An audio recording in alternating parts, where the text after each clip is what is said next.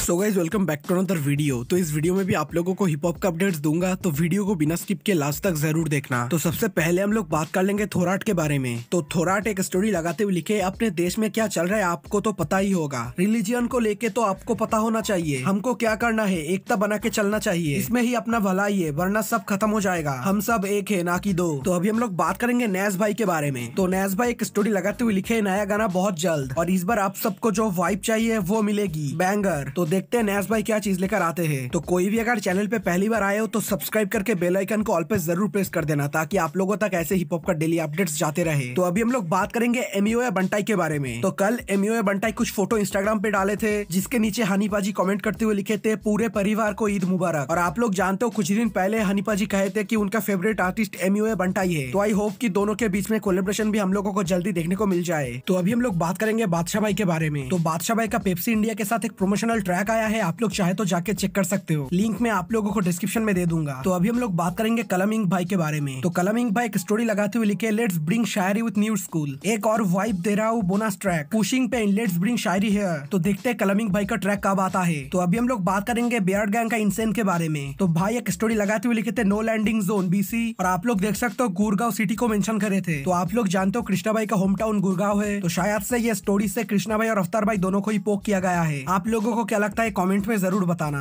तो अभी हम लोग बात करेंगे डीनो जेम्स भाई के बारे में। तो डीनो जेम्स भाई, उनका जो एल्बम का हिंट है डी वर्ड उसको स्टोरी पे डाले थे और लिखे थे this is just a tip of an iceberg और जो चूजन ट्रैक है, उसका छोटा सा पार्ट वीडियो पे लगाए थे। तो शायद से हो सकता है की डीनो जेम्स भाई का जो एल्बम आने वाला है, बहुत जल्दी हम लोगों को देखने को मिल जाएगा। और आप लोगों को बता दू, जो बादशाह भाई का ट्रैक है वोडो वो बारह दिन के बाद अभी भी ट्रेंड कर रहा है ट्वेंटी नंबर पे। और जिस पर सत्ताईस मिलियन व्यूज़ भी कंप्लीट हो चुका है। तो वीडियो अगर आप लोगों को अच्छा लगा तो वीडियो को एक लाइक कर देना और एक कमेंट भी कर देना। तो इस वीडियो में तो इतना ही, मिलता है लोगों से और एक नई वीडियो में, तब तक के लिए tata bye bye and take care.